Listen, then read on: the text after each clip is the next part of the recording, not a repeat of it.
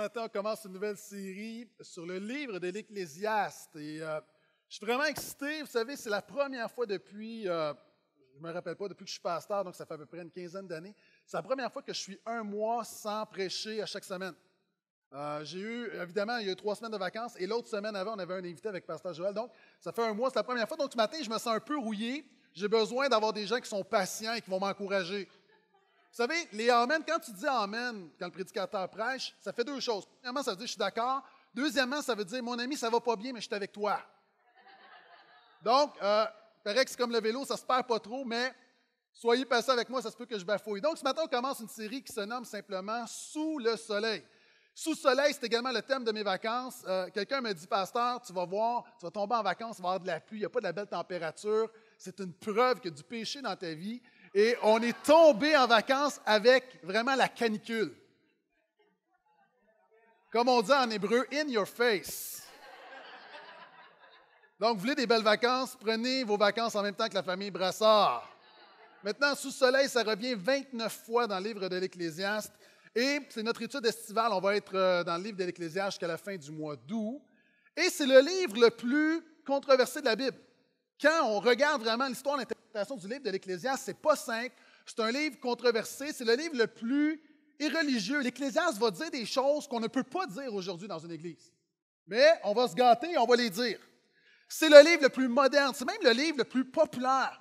C'est surprenant parce que l'Ecclésiaste, c'est un livre qui date de l'Antiquité. C'est un livre qui a été écrit en hébreu. C'est un livre qui, c'est un sage qui philosophe sur la vie, sur la quête du bonheur. Et on voit vraiment que la Bible est la parole de Dieu. Il y a des gens qui disent, ce livre-là, malgré qu'il soit ancien, c'est un livre qui me parle aujourd'hui.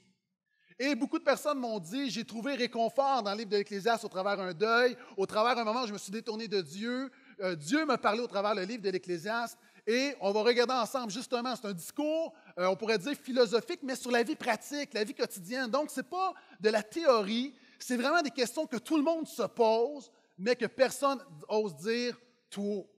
Et pendant que vous ouvrez avec moi dans le livre de l'Ecclésiaste, dans l'Ancien Testament, chapitre 1, le verset 1, c'est drôle, j'entends aucune Bible. Euh, Pasteur Philippe, est-ce qu'il prenait la Bible pendant les trois dernières semaines? Juste rassurez-moi, s'il vous plaît. Si vous n'avez pas de Bible, vous pouvez suivre sur les écrans. Sinon, ceux qui ont une Bible, s'il vous plaît, faites juste du papier pour les autres, pour m'encourager. Non, ça ne marche pas, là. OK. Donc, tout le monde suit sur les écrans dans ce cas-là, je peux dire n'importe quoi. Excellent. Pendant que vous tournez, juste vous dire une chose justement sur les versions bibliques. Vous savez, euh, il y a plusieurs bonnes traductions bibliques dans le christianisme qui, qui, qui, qui exactement la même parole de Dieu, mais il y a quatre types de traductions. OK? Juste qu'on soit, soit clair. Premièrement, il y a les types qu'on appelle euh, littérales comme la Bible second. Beaucoup de gens, vous avez la Bible second et toutes les dérivés de la Bible second, second 21. Moi, j'ai la nouvelle Bible second, la colombe. Ce sont des, Bibles qui vont suivre vraiment le texte original à peu près mot à mot. C'est pourquoi, quelquefois, quand on lit la Bible dans la, Louis II, on a l'impression que ce n'est pas fluide. Pourquoi? Parce que justement, le but, ce n'est pas que ça soit fluide, le but, c'est de vraiment rendre le texte original. De l'autre côté, on a des traductions qu'on appelle paraphrases. Donc, le but n'est pas de rendre le mot à mot, c'est de rendre l'idée du texte biblique. On parle de la Bible en français courant, parole de vie. Donc, c'est très, très fluide, mais on perd du sens original. Donc, pour l'étude biblique, tu ne prends pas une Bible en français courant. Et il y a ce qu'on appelle les traductions dynamiques entre les deux qui veulent suivre le texte assez fidèlement, mais en même temps veulent le rendre fluide, comme la sommeur. Par exemple, si tu cherches une bonne Bible pour lire des temps personnels, pour prier, pour chercher la face de Dieu, je conseille la sommeur. Si tu veux étudier la Bible sérieusement, au collège biblique, je dis aux étudiants, achetez-vous par exemple une nouvelle Bible seconde. Pourquoi? Parce qu'elle suit le texte vraiment fidèlement et elle n'interprète pas le texte à notre place. Maintenant, dans cette série, je vais utiliser la Bible seconde, la NBS. Donc, c'est pourquoi, quelquefois, peut-être que tu vas dire, hé, ça sonne différent de ce que je lisais autrefois, parce que vraiment, c'est une traduction qui va suivre le texte biblique et j'avais le goût de le faire pour l'Ecclésiaste. Est-ce que vous êtes toujours là? Et il y en a une quatrième type de traduction, c'est des traductions qu'on appelle corrompues. Par exemple, les témoins de Jéhovah ont la traduction du Nouveau Monde. Ce n'est pas une traduction, c'est-à-dire c'est une traduction avec des préjugés, avec des partis pris, et personne ne reconnaît ces traductions-là. Par exemple, ma Bible, les catholiques vont la reconnaître, les orthodoxes, les protestants la reconnaissent. Pourquoi? Parce que c'est une traduction qui est fiable. Les témoins de Jéhovah sont les seuls à avoir leur Bible. Et pourquoi je dis ça? Parce que quelquefois, j'ai vu des gens qui arrivent à l'Église avec une traduction du Nouveau Monde. Ce n'est pas la Bible. C'est un petit peu de Bible ou beaucoup de Bible avec beaucoup de fausseté. Donc, ne peux pas. Est-ce que vous êtes toujours là? OK, verset 1. Parole de Coëlette. Là, tu dis, wow, quoi? Parole de Coëlette, fils de David, roi à Jérusalem. Je t'ai averti que je n'avais pas la même version. Pourquoi? L'Ecclésiaste, c'est un mot bizarre. L'Ecclésiaste vient de où? Ça nous vient, premièrement, Coëlette est le mot hébreu, et ça nous vient, on l'a traduit en grec, ensuite en latin, puis en français. Finalement, Ecclésiaste, c'est un mot qui a passé par cinq langues avant d'arriver dans nos Bibles. Et on ne sait pas trop ce que ça veut dire. Donc, tant qu'à avoir un mot qu'on ne sait pas trop ce que ça veut dire, j'aime mieux avoir le mot original, c'est Coëlette. C'est pourquoi dans ma Bible, quand je vais parler de Coëlette, c'est l'Ecclésiaste, c'est la même personne. C'est juste avec un, un surnom un petit peu plus mignon. Qu'est-ce que ça veut dire? La Bible, dans le premier verset ici, c'est vraiment dans les Bibles, dans la Bible, c'est toujours le titre. C'est comme quand tu as un livre, tu as le titre, tu as l'auteur, et là, ça dit parole de Coëlette, donc, ou de l'Ecclésiaste, fils de David, roi à Jérusalem. Littéralement, Coëlette veut dire celui qui rassemble pour enseigner. C'est pourquoi la King James en anglais va traduire le prédicateur. Coëlette est un prédicateur, c'est un sage. Les sages étaient les philosophes des Israélites, les philosophes des Juifs. Et lui va réfléchir sur la vie. Et comme un prédicateur, comme je sais ce matin où des gens se rassemblent pour les enseigner, Coëlette, c'est la même chose. Donc, on pourrait dire que c'est un prédicateur des temps anciens. Maintenant, d'entrée de jeu, encore une fois, quelques considérations techniques. Ce n'est pas Salomon. Les gens disent Wow! J'ai toujours cru que c'était Salomon. Une des raisons, et là, si pour toi, c'est un grand problème de conscience, envoie-moi un courriel, je vais t'envoyer les 17 raisons. Ce n'est pas un cours de collège biblique. Mais la raison la plus importante, selon moi, c'est que le livre a été écrit 500 ans après la mort de Salomon. Donc, moi, ça me donne un indice que ce n'est pas Salomon. Ce que le personnage veut faire, par contre, il se met dans les souliers de Salomon pour réfléchir sur la vie. Un peu comme j'ai fait, si vous vous rappelez, lorsque j'ai parlé sur la famille, euh, je parlais de Jacob. À un moment donné, je me mets dans les souliers de Jacob et je commence à réfléchir comme Jacob et à parler comme Jacob. Je l'ai fait également dans la série avec Jésus où je prends Pierre qui a, dit, qui a renié le Seigneur, qui a toutes sortes de combats, toutes sortes de luttes. Je me mets à sa place et c'est exactement la même chose que fait Coëlette. Il se met à la place de Salomon. Salomon, qui est le, un des plus grands rois d'Israël, le roi le plus populaire, le plus sage, le plus riche, qui avait la plus grande célébrité, et commence à réfléchir sur le sens de la vie. Est-ce que tu es toujours là? OK, on commence, verset 2. Parole de Coëlette, fils de David, roi à Jérusalem. Futilité complète, dit Coëlette, futilité complète. Tout n'est que futilité. Ce matin, j'ai sept principes de sagesse pour toi. Le premier principe, la vie sans Jésus n'est que futilité. La vie sans Jésus n'est que futilité. Est-ce que tu peux un peu euh, baisser mon micro? Parce que je me retiens là. Merci. Et là, je vois, il y a du monde qui me regarde en avant, sont comme tous dépeignés. Donc, euh, la vie sans Jésus n'est que futilité. Que veut dire futilité? Encore une fois, traditionnellement, on le traduisait par vanité, tout n'est que vanité. La vanité aujourd'hui parle beaucoup de l'orgueil. Maintenant, ce n'est pas ça que le mot veut dire. Le mot qui est là, c'est vraiment quelque chose d'utile, quelque chose de vain. Littéralement, le mot qui est là en hébreu, c'est vapeur. Tout n'est que vapeur. Tu as compris, Pasteur André? Veux-tu que je vienne te l'illustrer? Parce que tu ne disais pas Amen, donc je dis peut-être qu'il n'a pas compris, là. Coëlette, l'Ecclésiaste dit Ta vie sans Jésus, tu vas pourquoi je dis sans Jésus n'est que futilité. Tes diplômes, tes études, tes projets, ton compte de banque, ta carrière, la rénovation de ta cuisine, tes relations, ton nouveau char, qu'est-ce qui reste? Il ne reste rien. Tout ça n'est que vapeur. Ça peut durer 80 ans, mais à la lumière de l'éternité, tout ça n'est que vapeur, tout n'est que futilité. Et non seulement l'Ecclésiaste dit tout n'est que futilité, littéralement, c'est futilité des futilités. Donc, il dit ta vie n'est pas ça, ta vie c'est.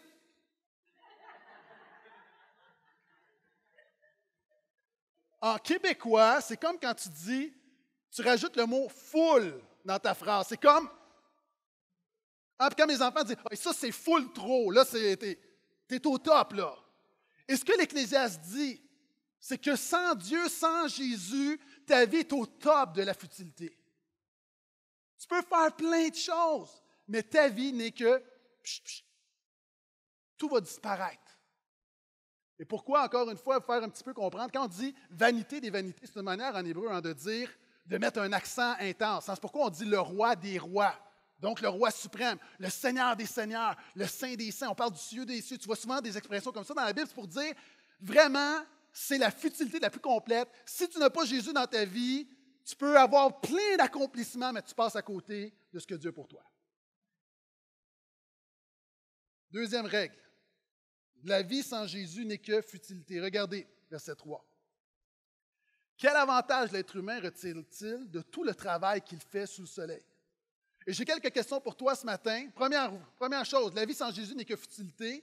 Deuxièmement, est-ce que tu es sous le soleil ou dans le ciel? Et ça, c'est important pour comprendre l'Ecclésiaste. L'Ecclésiaste parle à peu près une trentaine de fois d'être sous le soleil. Et ce que l'Ecclésiaste fait, ce que Coëlette fait, c'est qu'il réfléchit à la vie ordinaire sans Dieu. Il réfléchit à la vie quotidienne sans Dieu. Il réfléchit au quotidien. Maintenant, il dit sous le soleil. Si tu regardes sous le soleil, si tu as un point de vue terrestre, si tu as un point de vue naturel, tout n'est que futilité. C'est pourquoi tu dois comprendre, et la Bible dit que lorsque tu mets ta foi en Jésus, tu es assis avec Christ dans les lieux célestes.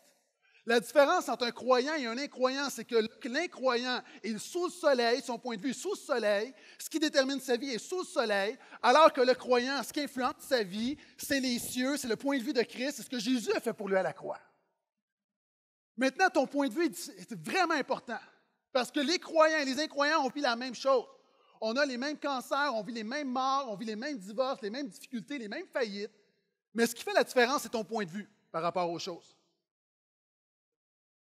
Si je suis au niveau du sol, je ne vois pas très bien. Il y a des gens, je ne te vois pas beaucoup. J'en vois quelques-uns, mais ma vision est limitée. Si je monte, toi en arrière, je te vois, tu dors présentement. Madame, vous mâchez votre gomme trop intensément à l'arrière. Voyez-vous, mon point de vue a changé. La réalité n'a pas changé, mais la manière que je vois les choses a changé. Maintenant, quand tu vis une épreuve, quand tu es sous le soleil, tu vois seulement l'épreuve. Mais quand ta foi est en Jésus, tu es dans les cieux, ton point de vue a changé, tu vois que Dieu est plus grand que tes épreuves. Et c'est pourquoi quand l'Ecclésiaste parle tellement de sous le soleil, ça nous prépare à la venue de Jésus qui nous donne un point de vue non pas sous le soleil, mais dans les cieux. Si tu comprends, dis un autre en de m'encourager, s'il vous plaît.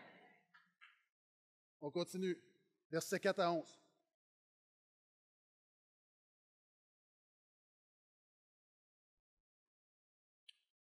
Et vous allez voir, l'Ecclésiaste dit des choses, quelquefois, ça peut sembler pessimiste. Pourquoi?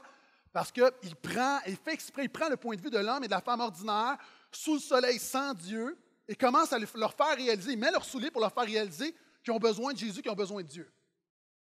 Une génération s'en va, une génération vient, et la terre subsiste toujours. Le soleil se lève, le soleil se couche, il aspire au lieu d'où il se lève. Allant vers le vent, tournant vers le nord, tournant, tournant va le vent, et le vent reprend tous ses tours. Tous les torrents vont à la mer, et la mer n'est pas remplie. Vers le lieu où il coule, les torrents continuent à couler. Tout est fatigant, plus qu'on peut le dire. L'œil n'est pas rassasié de voir, l'oreille ne se lasse pas d'entendre. Ce qui a été, ce qui sera, ce qui s'est fait, ce qui se fera, il n'y a rien de nouveau sous le soleil. Y a-t-il une chose dont on dise, regarde, c'est nouveau? Elle était déjà là bien avant nous. Il n'y a pas de souvenir du passé, de ce qui sera dans l'avenir ne laissera pas non plus de souvenir chez ceux qui viendront par la suite. La troisième vérité que nous enseigne Coëlette, c'est la vie sous le soleil est répétitive et insatisfaisante. Ça, c'est vrai, il y a des chrétiens, là, tu vis sous le soleil, tu vis, tu es trop dans la terre. Vous savez, il y a des gens qui sont tellement dans les cieux, qui sont médiocres sur la terre, mais il y a des gens qui sont tellement sur la terre qui n'ont pas leur héritage des cieux. Et il y a des gens qui sont devant moi, ta vie est insatisfaisante, elle est répétitive. Et Coëlette donne plein d'exemples. il dit, une génération vient, une génération va. Ça ne change pas. Le jour de ma naissance le jour exact de ma naissance, à peu près au même moment, mon grand-père est mort. À peu près en même temps. Je nais, il meurt. Beaucoup d'entre vous, vous passez votre vie entre l'hôpital pour les naissances et le salon funéraire pour les décès. Vous savez que si une business qui ne fera jamais faillite, c'est les salons funéraires. Il n'y a jamais un salon funéraire qui a fermé parce qu'il n'y avait pas assez de morts. Il n'y a plus personne qui meurt, non. Et l'Ecclésiaste nous dit les générations passent. Il dit le soleil. Pendant mes vacances, vous savez, moi, mon soleil, lorsque je suis assis sur ma terrasse, mon soleil passe, là, il va en haut de ma puis il va se cacher là-bas. Il n'est pas original, il a fait la même chose tout le long de mes vacances. Toujours, toujours, toujours. Il n'y a personne le matin, tu dis Où est le soleil ce matin? Très prévisible. Toujours la même chose. On pense que tout évolue, tout change. Le soleil. Il donne l'exemple du vent. On a eu une méga tempête la semaine dernière. Il y a eu du vent, et vous l'avez vécu, je l'ai vécu, manqué d'électricité, je vais y revenir. On a eu du vent de manière incroyable. Mais savez-vous quoi? Le vent n'est pas backorder, il n'est pas épuisé, il y en a encore. L'eau n'est jamais, il n'y a jamais trop d'eau, c'est comme tout continue. Et l'Ecclésiaste est en train de dire la vie est répétitive, elle est insatisfaisante. Et vous savez, il y a même des gens qui ont cette conception de la foi, même à l'époque de l'apôtre Pierre. Vous savez, Jésus dit Jésus est venu pour mourir, ressusciter, il est à la droite de Dieu le Père, mais il a dit Je vais revenir. Et à l'époque de Pierre, pas longtemps, la génération après Jésus, savez-vous ce que les chrétiens disaient dans les églises? Où est la promesse de son retour? On vit exactement ce qui a toujours été, il n'y a rien qui bouge. Déjà, il y a des gens, dans la génération après Jésus, disaient la vie, même la vie chrétienne, c'est répétitif. Et quelquefois, le quotidien, on va se dire les vraies choses, le quotidien peut être plate et peut être très insatisfaisant. Avez-vous remarqué, nos journées, c'est toujours la même chose? Moi, je me lève, c'est toujours le même fichu réveil matin. Même sonnerie. Fichu, c'est correct, c'est un beau mot. Ça se dit fichu, oui. Juste être sûr, après une semaine de vacances, je veux savoir ce qui est correct ou pas. Je me laisse toujours la même chose. Je fais le café, toujours la même chose. Je mange toujours à peu près la même chose depuis des années. Des mini wheat ou une toast au beurre de pinot quand je veux me gâter. Ma vie est toujours pareille.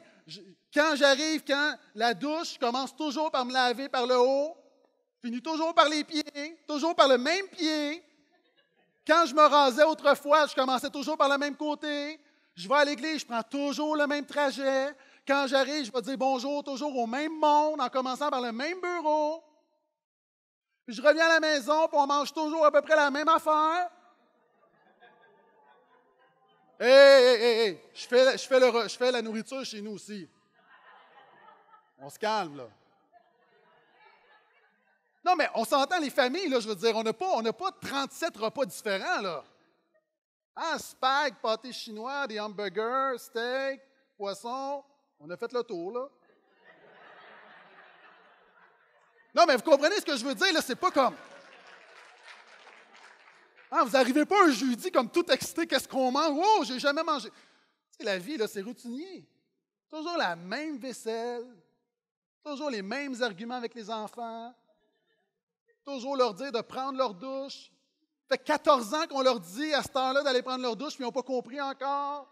Toujours leur dire, c'est toujours la même chose. Toujours, toujours, toujours. Et à un moment donné, puis même là, tu viens à l'église, tu dis, ouh, quelque chose de différent, tu t'assois à la même place. Hey! L'Ecclésiaste dit, tout est futilité, là, on tourne en rond. À un moment donné, tu t'arrêtes, tu dis, je fais quoi? Et là, imagine, si tu n'as pas Dieu dans ta vie, tu fais quoi? C'est quoi ton but, là? Et c'est ça l'Ecclésiaste qui veut nous faire comprendre. La vie sous le soleil est insatisfaisante. Toujours, toujours la même chose. Je continue. 12 à 18. Il dit, moi, Coëlette, moi, l'Ecclésiaste, j'ai été roi sur Israël à Jérusalem. Mais c'est là, il prend les chaussures, il se met dans les souliers de Salomon, et là, commence à réfléchir. Parce que vous savez, le roi Salomon, et je vais y revenir également, est un homme qui, avait reçu la sagesse, qui était le, roi le plus sage, même le plus sage de son époque. Ah, aujourd'hui, on va beaucoup valoriser euh, le vedettariat. Hein. Dans une télé-réalité, tu es quelqu'un. À l'époque, c'était la sagesse qui était la vertu numéro un. Et Salomon était le sage par excellence. Et Salomon a mal fini. Salomon, à la fin de sa vie, s'est bâti un harem, puis sa vie était que sensualité, sexualité, consommation, les biens, le matériel, et s'est éloigné de Dieu. Et là, le sage Coëlette se met dans les souliers de Salomon et commence à réfléchir. Et regardez, moi, Coëlette, été roi sur Israël à Jérusalem. J'ai décidé de rechercher, d'explorer par la sagesse tout ce qui se fait sous le ciel. C'est une occupation funeste que Dieu impose aux humains. J'ai vu toutes les œuvres qui se font sous le soleil. Tout n'est que futilité et poursuite du vent. Est-ce que tu poursuis le vent ce matin? On poursuit beaucoup de choses, mais est-ce qu'on poursuit les bonnes choses? Ce qui est courbé ne peut être redressé, ce qui manque ne peut être compté. Je me suis dit, moi j'ai développé et amassé plus de sagesse que tous ceux qui m'ont précédé à Jérusalem. Et mon cœur a vu beaucoup de sagesse et de connaissance. J'ai décidé de connaître la sagesse et de connaître la démence et la folie. Je sais que cela aussi n'est que, poursuite du vent. Car avec beaucoup de sagesse, on a beaucoup de contrariété. Plus on a de connaissances, plus on a de tourments. Ici, là, il y a un principe très important. L'être humain dirige sa vie en fonction de deux choses. Soit que tu t'appuies sur la raison humaine, ou soit que tu t'appuies sur la révélation divine. C'est vraiment important. Salomon est un homme qui a connu Dieu, qui vivait quelque chose avec Dieu, qui connaissait la parole de Dieu, qui marchait selon la parole de Dieu. Et c'est un homme, à un moment donné, qui a rejeté Dieu et a commencé à marcher par son propre raisonnement. Il a appuyé sa vie sur lui. Il est devenu le centre de sa vie. Et Salomon a expérimenté les deux. Et je te pose la question, je sais qu'il y a des gens, tu es ici ce matin, tu te considères comme un incroyant, mais je m'adresse également à des gens qui sont croyants. Tu dis que tu as Jésus dans ta vie, mais je te pose la question, dans ton quotidien, es-tu plus influencé par la raison humaine que par la révélation divine? Regardez Coëlette. Quand vous lisez, par exemple, le livre des Proverbes de Salomon, il dit Qu'est-ce qui est le commencement de la sagesse? La crainte du Seigneur. Tout tourne autour du Seigneur. Maintenant, regardez là. Il dit Moi, j'ai décidé, j'ai vu, je me suis dit. Alors que quand Salomon a commencé sa vie avec le Seigneur, ce n'était pas moi, c'était Dieu. Une des choses, plusieurs personnes, si ton problème, c'est pas que tu n'as pas Dieu dans ta vie, ton problème, c'est que tu commences avec toi et tu ajoutes Dieu alors que tu dois commencer avec Dieu parce que c'est lui le commencement de toute chose. Il y a des gens, tu, tu bâtis ta vie, mais le problème de ta vie, ce n'est pas que tu bâtis mal, c'est que le commencement de toute chose, ce n'est pas Jésus dans ta vie. Quand la Bible dit que Jésus est le commencement et la fin, ce n'est pas juste de la poésie, c'est une grande vérité dans nos vies. Jésus doit être le commencement de ton mariage, Jésus le commencement de tes finances, le commencement de tes loisirs, le commencement de ton travail, le commencement de ta famille. Tout doit commencer avec Jésus. Et si tu as déjà commencé sans Jésus, c'est le bon temps de t'arrêter et de dire, Seigneur, je veux recommencer, je veux rebâtir sur toi.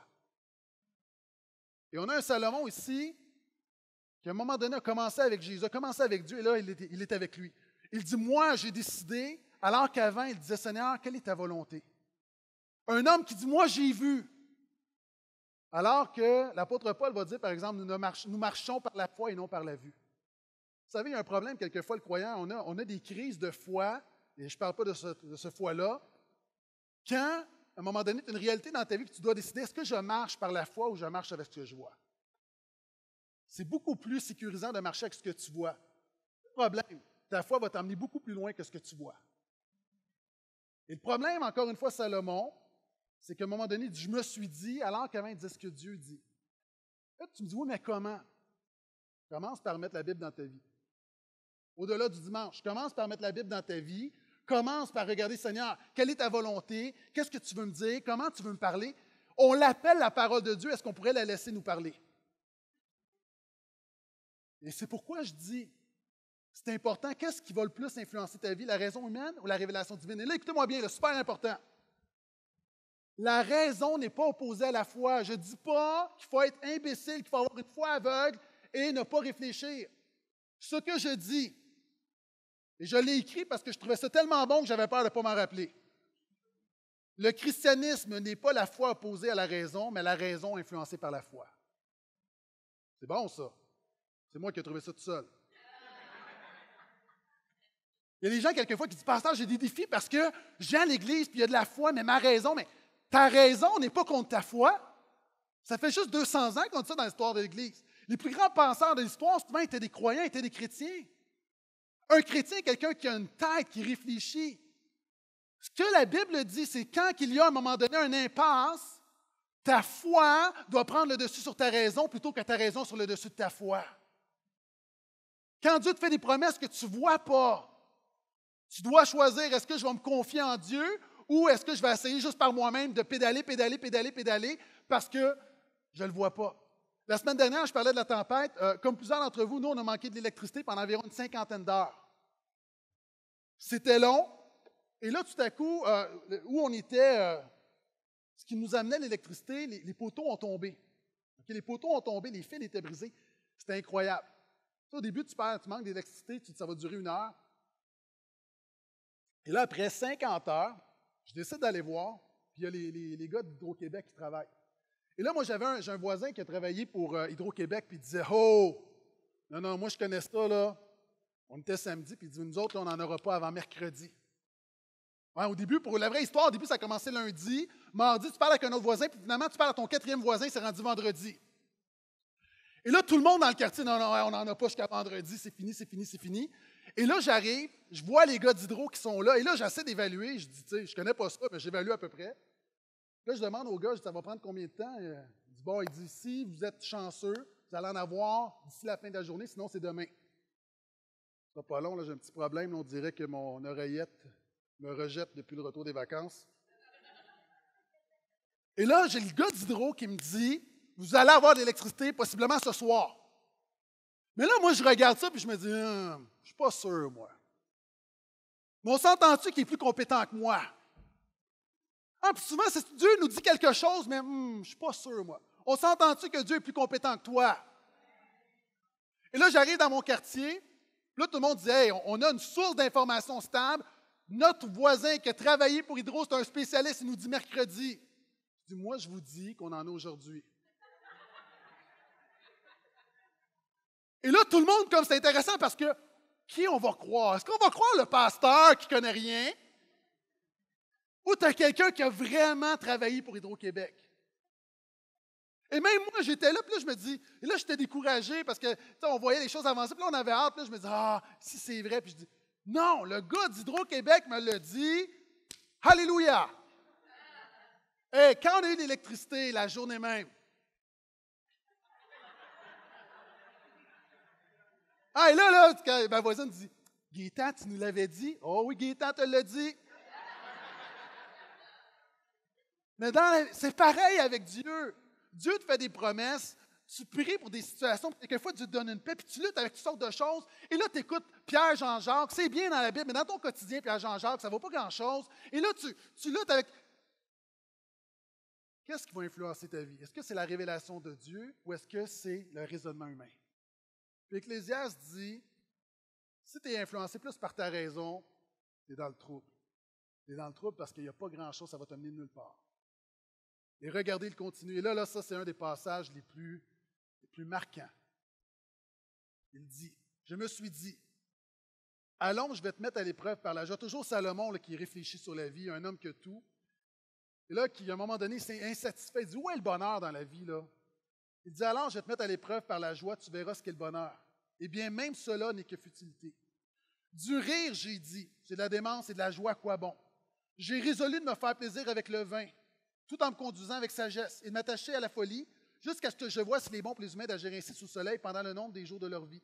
J'ai fait de grandes choses, je me suis bâti des maisons, je me suis planté des vignes, je me suis fait des jardins, des parcs, j'ai planté toutes sortes d'arbres fruitiers, je me suis fait des réservoirs pour arroser tout ça, des pépinières, j'ai acheté des esclaves, des servantes, j'ai possédé du gros bétail, du petit bétail en abondance, plus que tous ceux qui étaient avant moi à Jérusalem. J'ai aussi amassé de l'or, de l'argent, des trésors. J'ai acquis des chanteurs, des chanteuses et délices des hommes, beaucoup de femmes.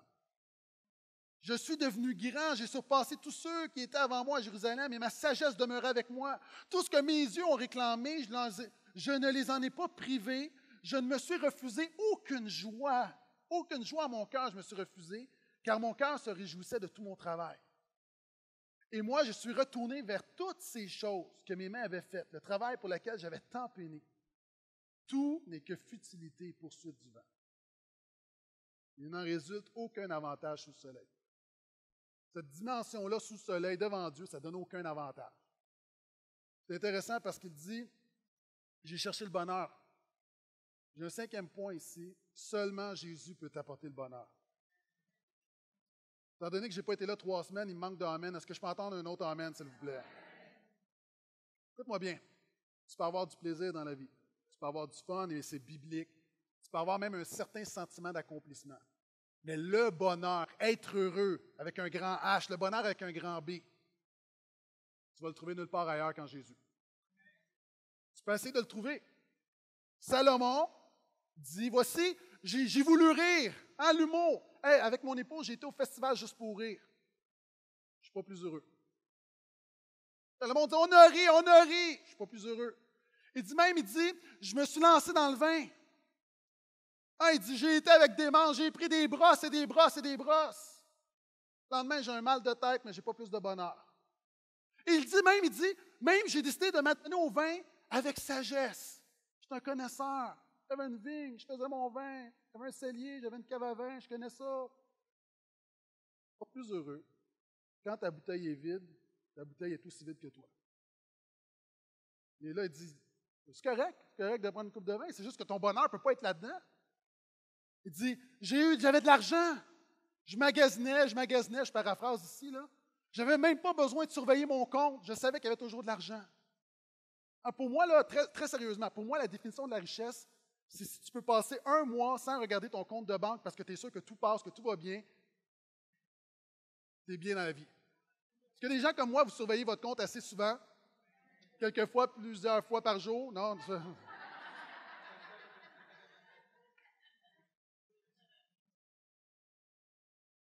Il dit, voici, j'étais pas plus heureux. Il dit, j'avais, j'avais des chanteurs, des chanteuses. Hein, j'ai 20 000 tonnes sur iTunes. Pas plus heureux. Il dit, j'ai eu du succès. J'ai passé à la télé, j'étais ses covers de magazine. Je suis pas plus heureux. Ah, on, a, on, a, un là, de Glee, là, le succès, là, le, héros des ados, des ados, pas plus heureux. C'est pas ça qui va te rendre heureux. Il dit, j'ai eu le sexe je ne veux pas vous choquer, mais il y avait mille femmes. Hein, il y avait des roses, des brunes, des blondes, de toutes les couleurs. Si ma femme avait mal à la tête, il y en avait 999 autres. Salomon, c'est ce qu'il dit. Il dit, écoute, ça peut être deux, trois. C'est comme, j'en ai tellement. Ça ne m'a pas rendu plus heureux. Il dit, je me suis privé de rien. Je me suis rien refusé. On va faire un test ensemble. Si je te donnais l'occasion de vivre une journée sans conséquences, tu peux faire ce que tu veux, sans conséquences aux yeux de Dieu, sans conséquences autour de toi. Tu peux faire ce que tu veux, puis personne ne va jamais le savoir. Je t'envoie à Vegas, puis on sait que ce qui se passe à Vegas reste à Vegas. On t'envoie là, puis tu as comme la confirmation que peu importe ce que tu fais là, personne ne va le savoir. Personne, personne ne va savoir. Dieu ne saura pas, le pasteur ne saura pas, ta femme ne saura pas, ton mari ne saura pas. Amnistie. Comment tu vivrais ta journée? Comment tu vivrais ta journée? Tu avais l'occasion de te priver de rien. Si on est honnête, quelquefois, il y a des choses qui montent dans notre cœur, et ça, ça démontre justement que notre cœur n'est pas vraiment Jésus. Salomon dit, je ne me suis pas privé. Puis la réalité, là, tu pourrais vivre ce que tu veux. Souvent, il y a du monde qui sont rongés par toutes sortes de tentations, toutes sortes d'affaires. Puis là, à un moment donné, tu cèdes, tu, résistes, tu résistes, puis quand tu cèdes, c'est comme le barrage. Au bout de la ligne, tu n'es pas plus heureux. Il y a plein de monde qui pense qu'il serait plus heureux sans Jésus. Je veux juste te dire, là, puis je sais qu'il y a des gens qui m'écoutent, puis je suis reconnaissant, il y a des gens qui m'écoutent sur Internet, qui ne vont plus dans les églises, des gens qu'on appelle rétrogrades, qui sont. Il y a des gens qui m'écoutent. Je le dis avec respect, mais je n'ai jamais vu quelqu'un s'éloigner de Jésus, rejeter Jésus et être plus heureux que lorsqu'il avait Jésus. Les gens peuvent dire toutes sortes de choses. L'expérience le démontre. Ce n'est pas assez d'en trouver un. Il dit, je ne me suis rien refusé. Puis savez-vous quoi? Et là, je ne veux pas rentrer dans les détails, je n'ai pas le temps ce matin. Mais en fait, Salomon, ce qu'il fait, quand on regarde le texte comme il faut, puis tu compares avec Genèse 2, c'est le même vocabulaire. Il est en train de recréer le jardin d'Éden les arbres, le jardin arrosé. C'est le même verbe, il fait, il fait comme Dieu fait, le jardin d'Éden. En fait, dans cherchant à droite et à gauche, savez-vous ce que Salomon cherche vraiment? Ce qu'il a besoin, c'est de Dieu. Puis ce que tu as besoin, c'est Jésus. Ce n'est pas un nouveau mari, ce n'est pas une nouvelle femme, pas un nouvel job. C'est Jésus que tu as besoin. Puis souvent même tu attends pour la, la guérison, le miracle dans ta vie. Et Dieu donne quelquefois, et gloire à ça pour ça, gloire à Dieu pour ça. Mais la réalité, souvent, tu penses, si j'avais ça, je serais plus heureux. Mais si tu n'es pas capable d'être heureux en Jésus maintenant, tu ne seras jamais capable. Pourquoi? Parce que ta joie va dépendre des circonstances. Et on soupait, on soupait, puis Ecclésias, ce qu'il est en train de dire, c'est qu'on poursuit, on poursuit, on poursuit, mais on poursuit le vent. Seulement Jésus peut t'apporter le bonheur. Vous êtes toujours là? Je continue. Verset 12. Et là, regardez, Ça devient vraiment, vraiment croustillant. Et moi, je me suis retourné pour voir la sagesse, la démence et la folie. En effet, que fera celui qui succédera au roi ce qu'on a déjà fait? Et moi, j'ai vu ceci. L'avantage de la sagesse l'emporte sur celui de la folie, comme l'avantage de la lumière sur celui des ténèbres. Le sage a des yeux pour voir, mais l'homme stupide marche dans les ténèbres. Pourtant, je sais, moi, qu'un même sort les attend tous les deux. Que tu sois un grand croyant ou le pire des incroyants, le même sort attend tous les deux. Je me suis dit, le sort de l'homme stupide m'attend moi aussi. Pourquoi aurais-je alors montré, moi, davantage de sagesse? Je me suis dit que là, c'est encore la futilité. Car le sage ne laisse pas de souvenirs pour toujours, pas plus que l'homme stupide. À mesure que les jours passent, tout est oublié. Le sage meurt bel et bien comme l'homme stupide. J'ai donc détesté la vie. Car pour moi, l'œuvre qui se fait sous le soleil est mauvaise, puisque tout n'est que futilité pour du monde. On finit tous par mourir d'une manière ou d'une autre. J'ai détesté tout le travail que j'ai fait sous le soleil et que je dois laisser à celui qui me succédera. Qui sait s'il sera sage ou fou? Pourtant, il aura pouvoir sur tout le travail que moi j'ai fait. Je continue. Je suis venu à me décourager. Il va dire au verset 2, En effet, que revient-il à l'être humain de tout le travail de la préoccupation qui s'est donné sous le soleil? Tous ses jours ne sont que tourments, ses occupations contrariétés. Même la nuit, son cœur n'a pas de repos. C'est encore là une grande futilité. Mon sixième principe ce matin, la plus grande vérité de la vie. Et ce matin, là, sans prétention, je te donne la plus grande vérité de la vie. Prépare-toi. La plus grande vérité de ta vie. La plus grande des plus grandes des plus grandes. La vérité des vérités. La plus grande vérité de la vie est ceci. Tu vas mourir. Tu disais, pasteur, moi je pensais que tu voulais m'encourager ce matin. Bien, avant de t'encourager, il faut qu'on trouve le problème. Et le problème, tu vas mourir. Et l'Ecclésiaste, Coëlette parle et dit Voici, la plus grande vérité, c'est que le pasteur se mélange dans ses notes.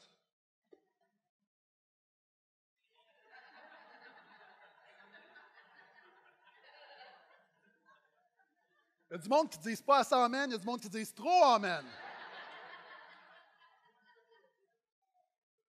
Eh, le, juste, le juste meurt autant que l'homme stupide. Nous allons tous mourir.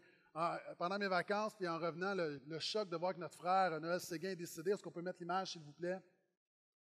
Photo de Noël. C'est comme, wow! Hein, c'est comme, il y a des gens qui sont là, fidèles, puis hein, c'est comme, il y a des gens qui font partie des meubles, et tout à coup, le meuble est parti. C'est comme, la réalité, chacun d'entre vous, là, vous allez tous mourir. Ça, votre tour va venir, mon tour va venir. C'est la plus grande vérité. Et l'Ecclésiaste dit, à un moment donné, il faut se remettre en question parce qu'on fait tellement d'affaires, mais on oublie l'essentiel, c'est que tout ça se termine, on va mourir. Et savez-vous, il continue en disant, nous allons tous être rapidement oubliés. OK? Encore une fois, moi, je pense que c'est un livre vraiment encourageant, mais dans la vie, il faut dire les vraies choses pour trouver le courage. Hein, il faut diagnostiquer la maladie avant de prescrire le médicament. La majorité d'entre nous, d'ici 50 ans, on va nous avoir oubliés. Il y a des gens ici, là, dans 20 ans, on ne se rappellera plus de toi. Les gens, tu es peut-être plus jeune. Mais je te donne une conviction, Jésus est revenu dans 100 ans, là, il n'y aura pas un jour pour te célébrer où on va. Est-ce qu'on peut mettre l'autre image? Mon grand-père. Mon grand-père est un homme qui a fait la, guerre, hein, qui a eu 12 enfants. Qui... Puis j'ai de la difficulté à me rappeler de son prénom, je ne l'ai pas connu. L'ensemble de ses enfants sont en train de mourir. Il en reste quelques-uns dans mon père. La réalité, c'est que moi, je me rappelle à peu près pas, je connais rien de lui. Mes enfants, c'est comme, connaissent vraiment rien. Je présente la photo à mes enfants, ils ne savent même pas c'est qui. La réalité, c'est un homme qui a, travaillé fort toute sa vie, qui a fait la guerre, qui est une bonne personne, mais même pas 50 ans après sa mort, il n'y a personne qui va se rappeler de lui. Ça, c'est notre réalité à tous. Dans un monde de, de, célébrité, on l'oublie là où. La réalité, là, en qui a gagné Star Academy il y a 10 ans? vous allez vous en rappeler si vous êtes fan, là, mais vous comprenez ce que je veux dire? Qui a gagné la voix dans 20 ans? On va-tu va faire une fête à chaque année? Non, c'est futilité. On s'en rappellera pas. Et ce qui est pire, c'est que, vous savez, hier, je disais le journal La Presse, c'est il y avait les 48 morts du lac Mégantic, puis il y avait un article avec un, petit article, une photo, puis un petit article pour chacun, pour dire afin qu'on ne les oublie jamais. C'est super honorable, là. Mais c'est futilité. La réalité, là, est-ce que vous êtes capable de me nommer dix noms de ceux qui sont morts au lac Mégantic? Vous êtes capable de m'en nommer cinq? La majorité des Québécois vont avoir la difficulté à en nommer un dans un an. Pourquoi? Pas par manque de respect. La vie, la vie, la vie. Et on doit s'arrêter et réaliser que nous allons tous mourir. Et l'Ecclésiaste dit ce qui est terrible, c'est que non seulement on va tous mourir, on va être oubliés, mais on ne peut rien emmener. Moi, j'ai fait, beaucoup de funérailles et je n'ai jamais vu derrière le corbillard un camion de Secure, Garda ou la Brink. Hein, où on met la personne dans le trou et là, on arrive avec les sacs d'argent. Non, tu n'amènes rien. Et pire encore, il y a quelqu'un d'autre qui n'a pas travaillé qui va récolter tout ce que tu as fait. Tu travailles fort dans ta job, tu travailles, tu travailles, tu travailles, tu bâtis des affaires, une structure, tout ça. La réalité, on peut te mettre à la porte et c'est un petit jeune qui va prendre ta place. Et là où tu es au travail, OK, tu peux démissionner, mais est-ce que dans un an, on va vraiment encore parler de toi à la pause du midi? Tout est futilité. Tout est futilité. La plus grande vérité, on va mourir. Et c'est pourquoi tu as besoin de Jésus. Pourquoi? Parce que si tu es sous le soleil, tu es sans Jésus, tu meurs, c'est fini. Mais si ta foi est en Jésus, tu meurs, tu as la vie éternelle et c'est le début de quelque chose. Et l'Ecclésiaste dit, je ne peux rien emmener. Mais toi as ta foi en Jésus, c'est pourquoi tu prends soin de ton âme, c'est pourquoi tu prends soin de ta relation avec Jésus, parce qu'il n'y a rien moi, là, ma maîtrise, je ne l'amènerai pas au ciel, mais Jésus, ma relation avec Jésus, je l'amène au ciel, par exemple. Et c'est ce que l'Ecclésiaste veut nous faire réaliser. Souvent, on est tellement dans la terre. Tu as besoin d'un moment donné de faire une prise de conscience. Tu as besoin de Jésus. Et alors que tout le monde va t'oublier, ce qui m'excite, c'est que la Bible dit dans le livre du prophète Malachie, on parle souvent du livre de vie, mais il y a un autre nom pour ce livre-là. Et ceux qui en Jésus, ceux qui reconnaissent leurs besoins de Jésus, qui, qui crient à lui, qui disent Moi, je suis un pécheur, j'ai besoin que tu me pardonnes, j'ai besoin que tu me réconcilies avec Dieu parce que je suis déconnecté de Dieu et je m'en vais vers l'enfer, je m'en vais vers la mort. C'est lui qui met sa foi en Dieu, qui a une nouvelle naissance, qui est connecté à Dieu, puis qui a l'assurance de la vie éternelle. La Bible dit que ton nom est écrit dans le livre des souvenirs. Alors que sur la terre, tout le monde pourra m'oublier, mais Dieu ne m'oubliera pas. Ça, ça me suffit. C'est pourquoi tu as besoin de Jésus. Et je termine pendant que les musiciens viennent me rejoindre. Versets 24 à 26.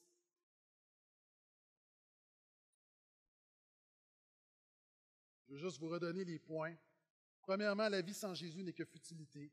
Deuxièmement, es-tu sous le soleil ou dans le ciel? Troisièmement, la vie sous le soleil est répétitive et insatisfaisante.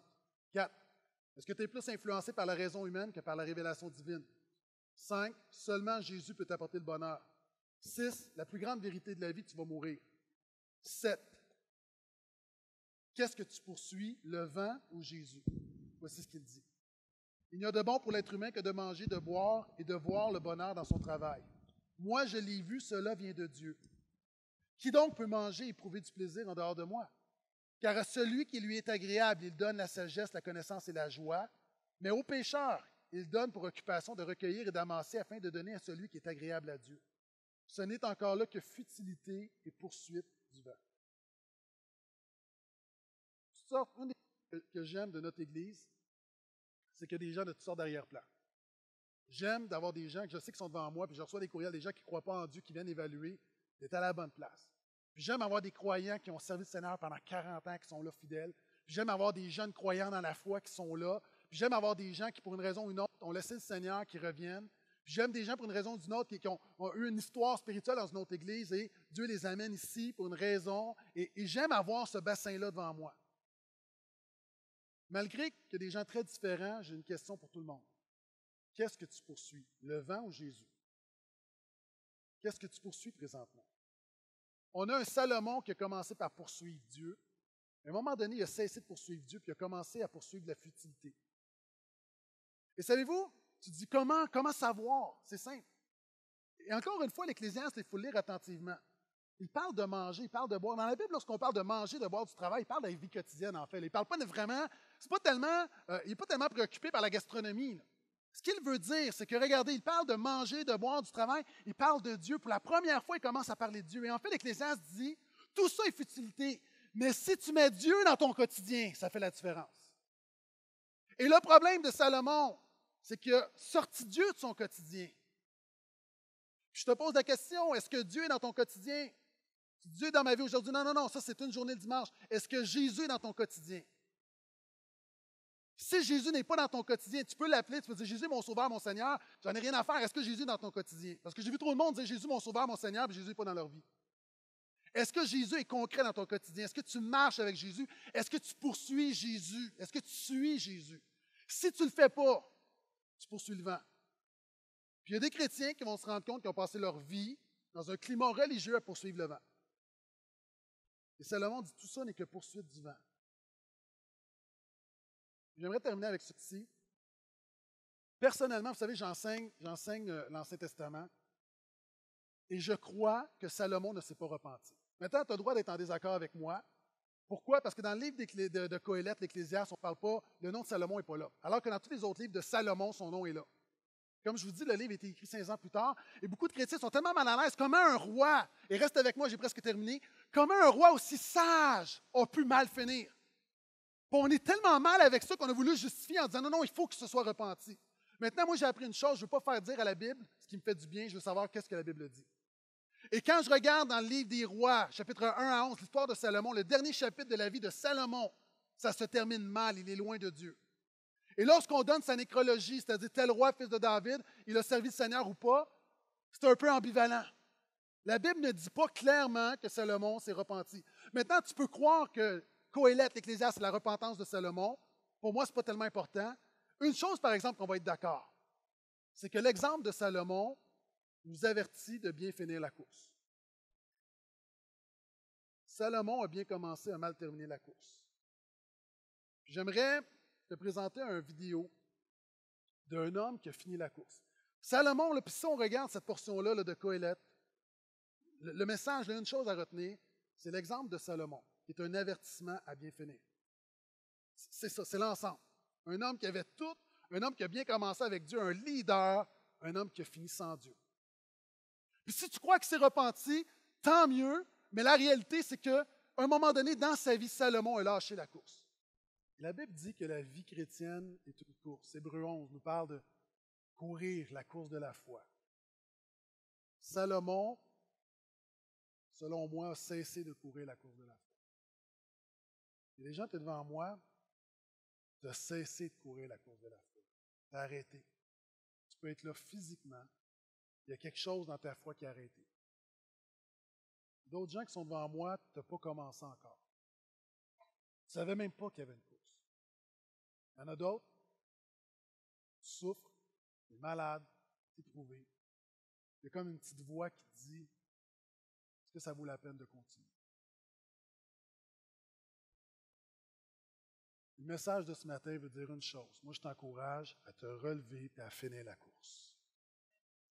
Le Père est avec toi, tu n'es pas seul là-dedans. Le Père est avec toi, Dieu est avec toi. Tu ne le vois pas. Mais comme ce Père-là qui, qui encore une fois, marche par la foi et non par la vue, le Père est là qui te porte.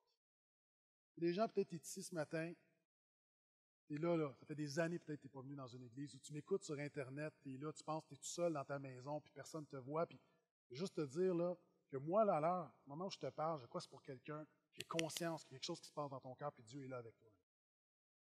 Moi, je veux juste t'encourager à te lever, à finir la course. J'aimerais, si on peut juste pencher la tête, je veux prier pour toi ce matin.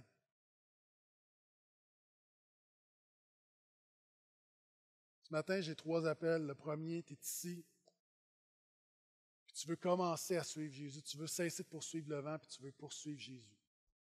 Ce matin, tu veux juste prendre une décision. Cet homme-là, publiquement, il s'est levé. Je demande l'autre tu es, juste de lever ta main, c'est ton cas. Dis-moi ce matin, je veux commencer à suivre Jésus. L'autre tu es, fais simplement lever la main. Et la baisser. Quelqu'un d'autre, tu dis, moi, je suis conscient que je veux que les yeux soient fermés parce que l'idée, ce n'est pas de, spotter qui que ce soit, mais je veux prier. Quelqu'un, tu es ici ce matin, puis tu as arrêté. Tu es blessé. Tu as mal mais tu as arrêté, tu sais très bien que tu as arrêté de courir. Ce matin, tu veux juste dire, Père, viens m'aider. Je veux finir la course, mais j'ai besoin de toi. Par moi-même, je ne suis pas capable, mais je veux me relever, je veux finir la course que j'ai commencée. Puis quand je vais être sur mon lit de mort, je veux être dans une attitude de foi et d'action grâce parce que je sais que mon éternité est scellé entre les mains de Jésus. C'est ton cas, est-ce que tu peux lever la main là où tu es? Tu peux baisser ta main. Troisième appel pour des gens qui, tu cours la course. Tu es fidèle. Tu fais ton possible. Tu persévères. Mais dans ton cœur, il y a un combat. Dans ton cœur, il y a des tentations qui reviennent. Quoi ça rime tout ça? Tu as des tentations de juste laisser, de juste relâcher. C'est subtil. Tu t'en parles pas, tu le dis pas, mais tu sais très bien au moment où je te parle dans ton cœur, et je crois que l'Esprit est en train de cibler quelque chose dans ton cœur, tu sais très bien qu'il y a une tentation d'arrêter. Il n'y a pas de condamnation dans ce lieu ce matin. Mais c'est ton cas, je veux prier pour toi. Est-ce que tu peux lever ta main également? Merci de votre transparence. Vous baisser votre main. J'aimerais qu'on puisse, et attendez, j'aimerais qu'on puisse se lever, mais quand on va se lever, j'aimerais pour plusieurs personnes ce matin que ce soit un geste de foi. Ce n'est pas juste on se lève pour se lever. C'est comme cet homme qui se lève pour finir la course, qu'on se lève de manière à dire Je me tiens debout pour finir la course au nom de Jésus. Est-ce qu'on peut se lever, s'il vous plaît?